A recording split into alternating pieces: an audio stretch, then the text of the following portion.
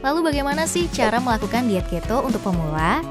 Diet keto berfokus pada upaya menurunkan kadar insulin sehingga frekuensi makan dalam hal ini sangat berperan. Kita bisa memulainya dengan terlebih dahulu mengatur frekuensi makan. Secara umum, ada dua jenis diet keto, yaitu diet keto sehat dan diet keto kotor. Pernah nggak kamu mendengar istilah diet keto? Keto merupakan salah satu metode diet yang dilakukan dengan cara membatasi asupan karbohidrat. Selain menjaga berat badan agar tetap ideal, diet keto memiliki beberapa manfaat lain, seperti meningkatkan kadar oksigen dalam tubuh, meningkatkan energi, dan membuat otak serta jantung menjadi lebih sehat. Penasaran dengan penjelasan lengkapnya? Tonton video ini sampai akhir yuk! Video ini akan membantu menjelaskan apa itu diet keto dan bagaimana cara memulainya. Satu hal yang perlu digarisbawahi adalah glukosa tidak hanya bisa didapatkan dari mengonsumsi gula dan karbohidrat, tetapi juga bisa diperoleh dari sumber lain, misalnya dari lemak, protein, dan keton. Artinya, kebutuhan tubuh kita akan glukosa masih bisa tercukupi meskipun kita tidak mengonsumsi nasi atau makanan manis.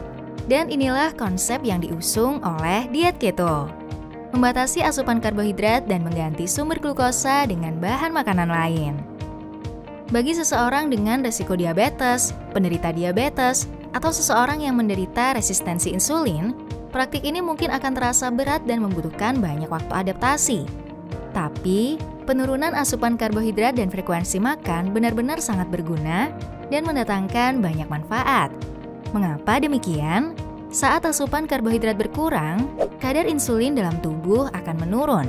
Penurunan insulin ini baik bagi tubuh karena kadar insulin yang terlalu banyak dapat menyebabkan resistensi insulin yang menjadi salah satu faktor dari kondisi pradiabetes. Selain itu, kalau kamu menonton video tentang intermittent fasting, kamu akan tahu bahwa insulin merupakan salah satu faktor yang menyebabkan berat badan tidak terkontrol. Penurunan insulin inilah yang sebenarnya menjadi misi besar dari metode diet keto.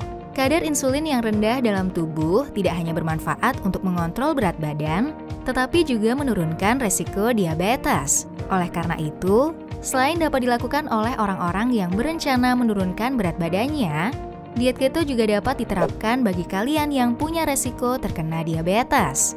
Diet keto juga bisa membantu menstabilkan mood, meningkatkan performa kognitif, melancarkan sirkulasi peredaran darah, mengurangi lemak di area perut, memompa energi, dan yang paling penting metode diet ini akan membantumu mewujudkan gaya hidup yang lebih sehat.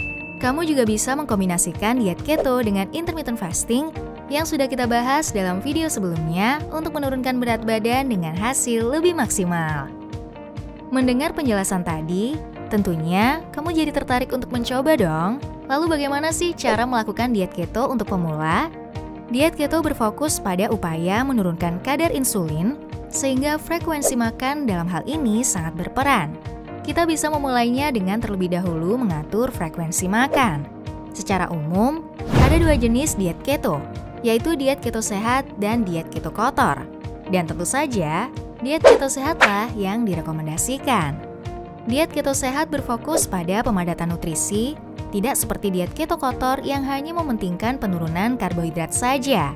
Jadi, dalam penerapannya, kamu perlu sangat jeli memilih bahan makanan. Pastikan bahan makanan yang dipilih dalam proses pembatasan jumlah karbohidrat tersebut adalah benar-benar bahan makanan yang kaya nutrisi dan dapat mencukupi kebutuhan nutrisi tubuh. Peraturan paling penting dari penerapan diet keto adalah jangan makan sampai kamu benar-benar merasa lapar saat melakukan diet keto dengan mengonsumsi sayuran, lemak, dan protein dalam bentuk makanan sehat, kamu tidak hanya akan merasa kenyang, tetapi juga mempertahankan kekenyangan tersebut dalam waktu yang lama. Salah satu rekomendasi penerapan diet keto adalah kamu bisa mengisi piringmu dengan 5% sayuran, 5% karbohidrat, dan sisanya bahan makanan yang mengandung lemak sebanyak 70% dan protein 20%. Oh iya, Asupan karbohidrat 5% itu bukan nasi, kentang, dan semacamnya ya. Melainkan dari bahan makanan seperti kacang-kacangan atau buah beri.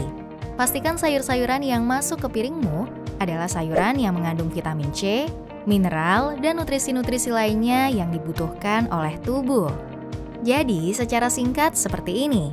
Ketika kamu bangun tidur di pagi hari, jika kamu mempertahankan jumlah asupan karbohidratmu dalam jumlah sedikit, kamu tidak akan merasa lapar sehingga kamu bisa melewatkan sarapan dan menggantinya dengan makan siang. Kita mengenal hal itu dengan sebutan brunch alias sarapan yang dilakukan di jam makan siang. Kemudian, kamu akan makan lagi di waktu makan malam sehingga frekuensi makanmu dalam sehari adalah dua kali makan. Buat frekuensi dua kali makan ini dalam jangka waktu 6 jam, lalu sisanya lakukan puasa dengan masih mengonsumsi air putih tentunya. Selama jeda antara makan siang dengan makan malam tersebut, hindari mengonsumsi snack. Dengan demikian, penurunan berat badan akan berlangsung dengan maksimal. Tidak hanya itu, kamu juga bisa memperoleh serangkaian manfaat lain sebagaimana sudah dijelaskan di awal video. Nah, itu tadi seputar diet keto, konsep, manfaat, dan cara menerapkannya. Gimana? Sudah siap mempraktekkan metode ini? Jangan lupa like, komen, dan bagikan video-video dari channel Atur Pola Makanmu ke seluruh kenalanmu ya, agar semakin banyak orang yang tahu tentang cara mengatur pola makan dengan baik. Sampai jumpa di video selanjutnya.